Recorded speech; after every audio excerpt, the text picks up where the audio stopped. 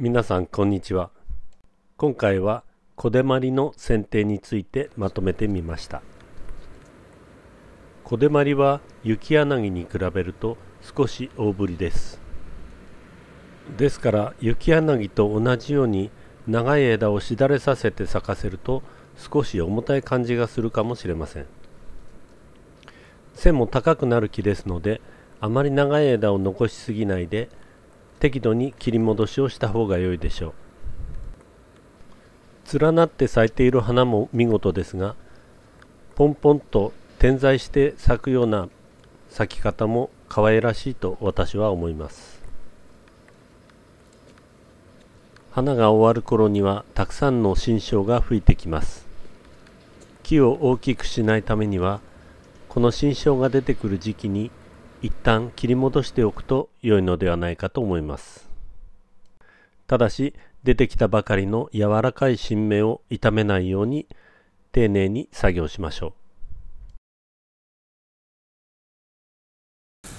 う。もう叩くと花びら落ちるぐらいなってますので切っちゃいます。こういうとこでね先っちょ詰めてもしょうがないので先を見越してこういうところを残してね切っちゃいます。まあ一番消極的だとここですけどね。でももう少し小さくしたければね、極端な話これを残すとかですね。そこまで行ってもいいんですよ。こういうふうにね。これを残せばいいんですよ。まあこれを残せば花もたくさん咲きますけどね、まあ、その分背も高くなりますから。そこはよく考えてこういうのもこのぐらいで詰めるとかもっと詰めとくこのぐらいで詰めるとかですね。いう感じです。とにかく古い枝を新しい枝に更新するのが目的ですからこれは当然新しい枝ででこっちは古い枝になってきますよね。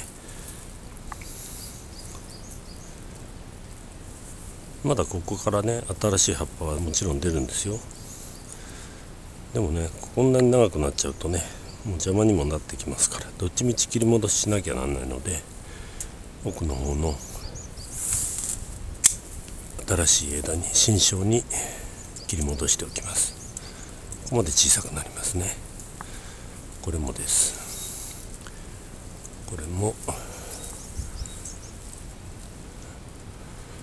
この辺残ればいいんですけどまあ外面で残したいから。うんここにしとくかな。ここでいいですね。ね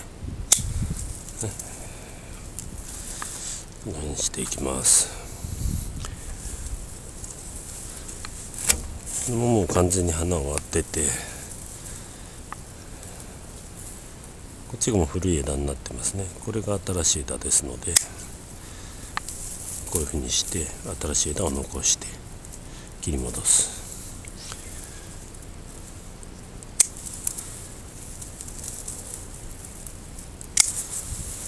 っていう感じですね。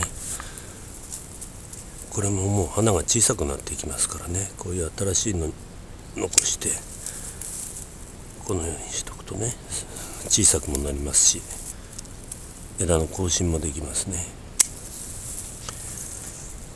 これはアベリアですねもまあ随分伸びちゃってるね。この際少し小さくしときましょうか。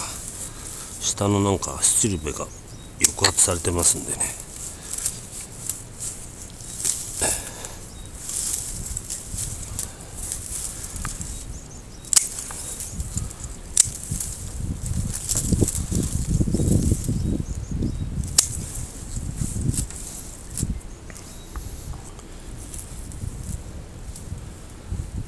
れもうんと小さくしたければまでいっちゃいますか。は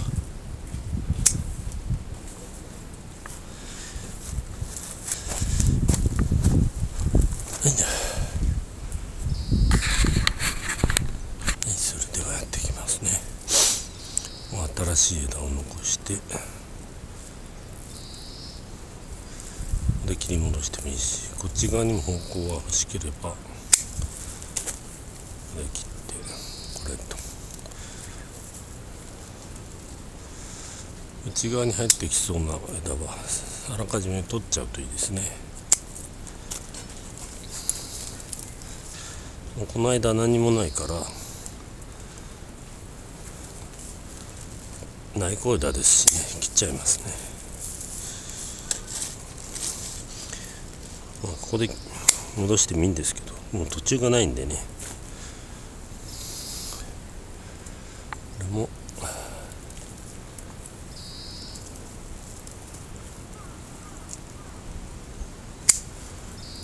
これは新しい枝になりますね。こういうのね。今真上に向かってますけどね。あのだんだん枝がこうしだれてきますので今突っ立っててもあんまり気にしない方がいいです。これはちょっと内向してるね。内向してるし古いね少し、うん、取っちます。これはどこまで戻せるかな。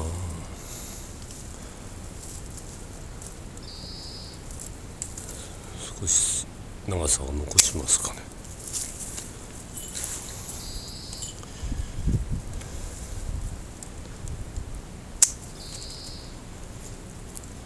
でもいいしね。ここまで行ってもいいしね。このぐらい思い切ってもいいですよね。こういうのも もう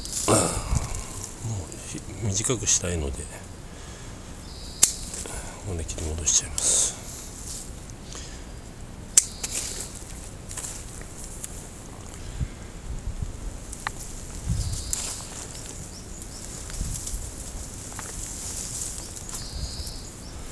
と奥の方からやりましょうかうんそうねもう背高いので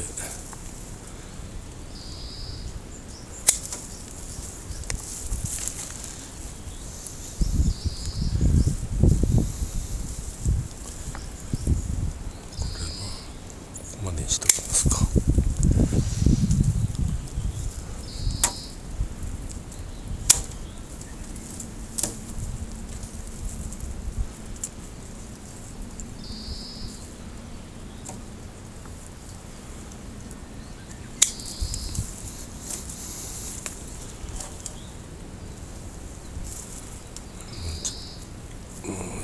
古いからいいね。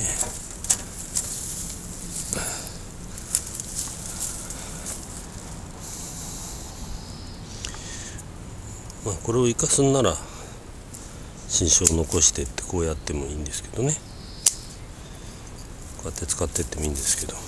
もうちょっと枝自体がだいぶ古くなってるのでね。この機会に抜いちゃいましたけど。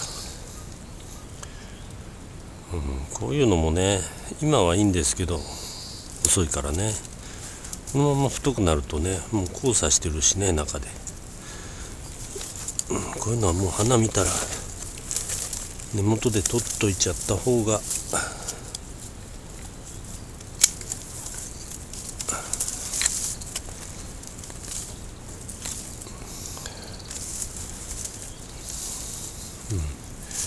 でねごついとこで切るとこうなっちゃうんですよね。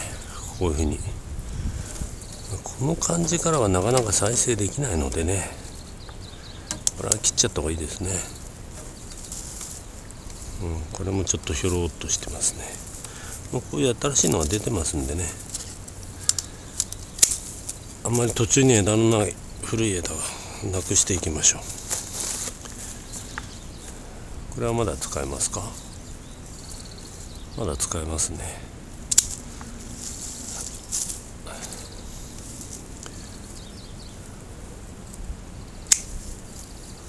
んまり細かくやるとね人工的になっていくのでこの辺はもうそのままでいいですね。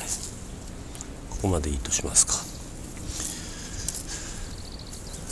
これはちょっと長いですね。これが新しくてこれが新しいですからこれとこれを残してこっちを取る。よいしょ。れね。これとこれちょっと重なってますけど、まあ、こっちはこれでいいと思います。これもう少し下げたければこうしますけどもこれ枝自体古いですね、まあ、この際取ってもいいですよ。これね途中がないしね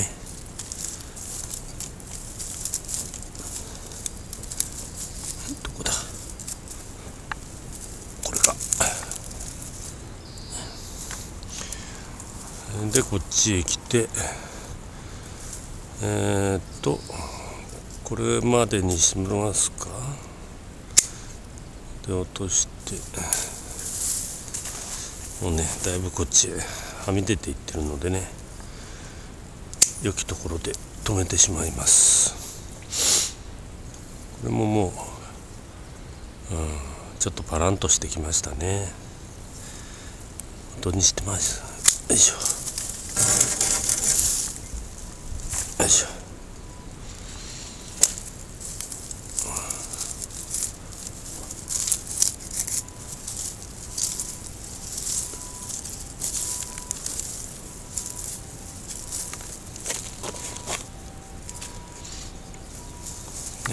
終わったのをこうどけていくといいんですよね。でこれはまだ新しいからいいかな。こっちはもう古いですね。うん。これはもう取りましょう。ね。でこれはまあいいかな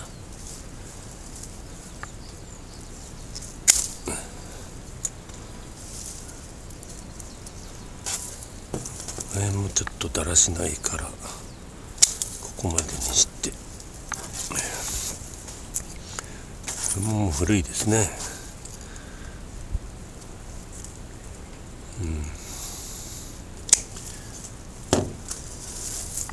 まあいつでも切れるかなこんな程度でじゃないかと思います。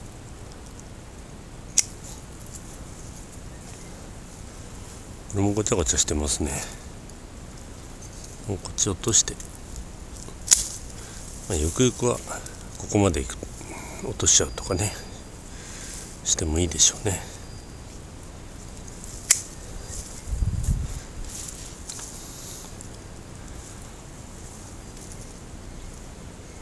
うん。これも細くて長いな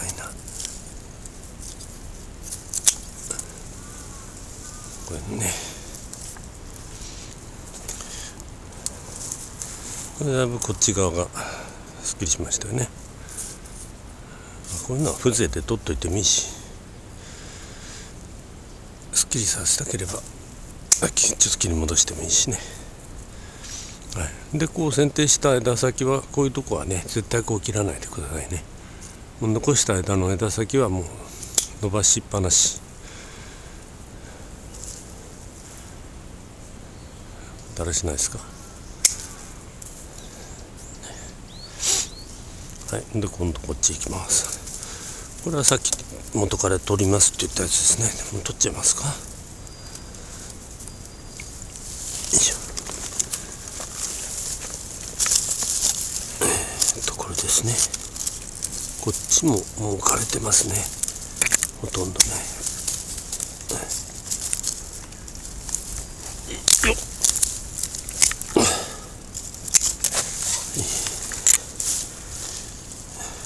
ね間は何もないしもう詰めて詰めてこう団子になってくるともう汚らしいですよね枝としてね。はいあとこっち側ですね。こっち側もさっきこれ残しましたけどねどうしますかね。こっちはいらないね。あもうこれに戻してここまで取ってもいいんですよね。こういうふうに。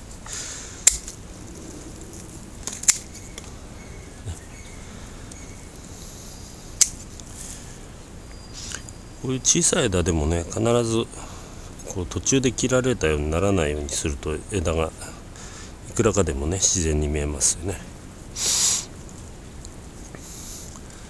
これはもうちょっと背高いですね。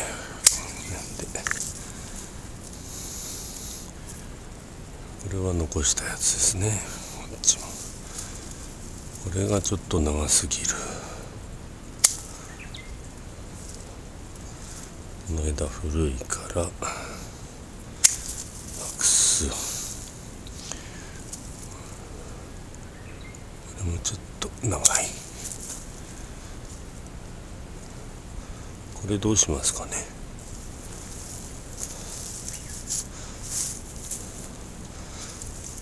えっ、とさっきここで残したから残すけどこれはもうダメ。これもダメ。うん。このかな？はい。これちょっと変だけどまあ紛れちゃえばね。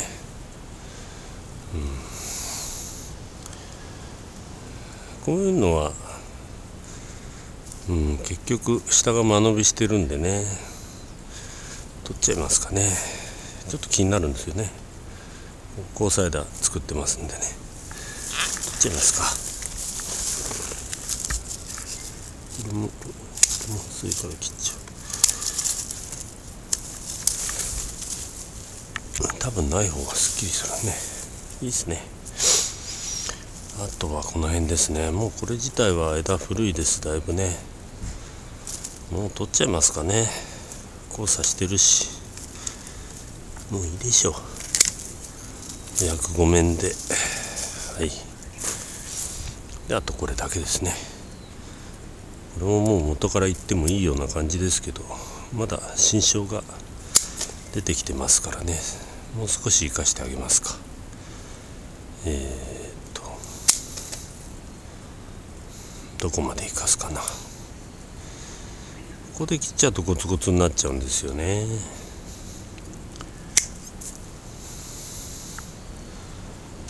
うん迷った時は切らない。ね。これ変だな。ちがあるからね。こんなもんでいいんじゃないですかね。と下のこれは雪柳みたいですね。これは雪柳ですけどまあ雪柳も小手まりもほとんど同じですからね。上内向き。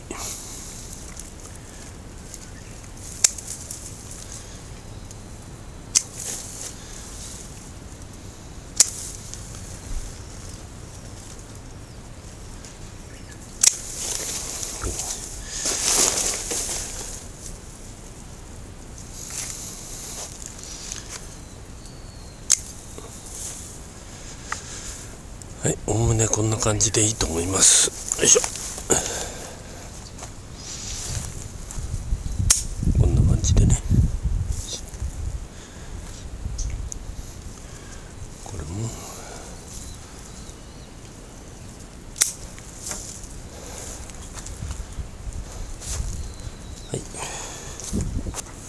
こんな感じでいいんじゃないですかね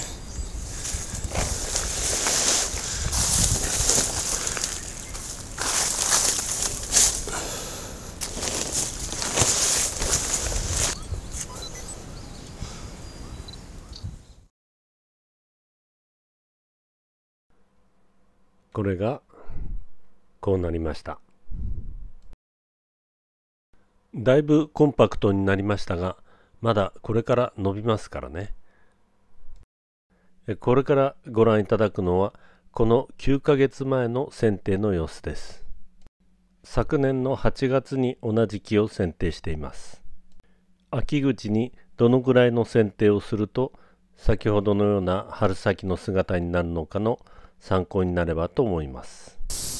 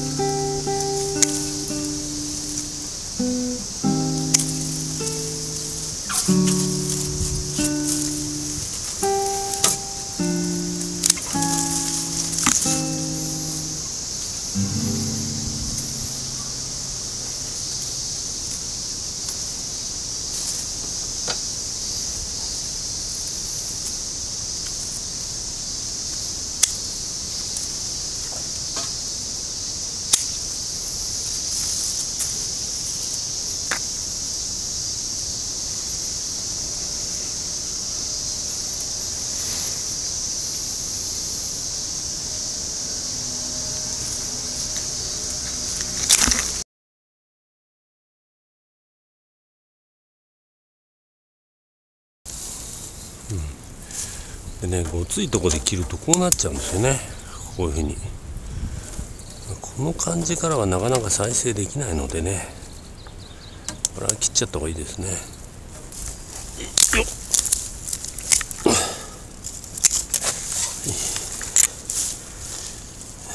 これね。もう間は何もないし。もう詰めて詰めてこう団子になってくるともう汚らしいですよね枝としてね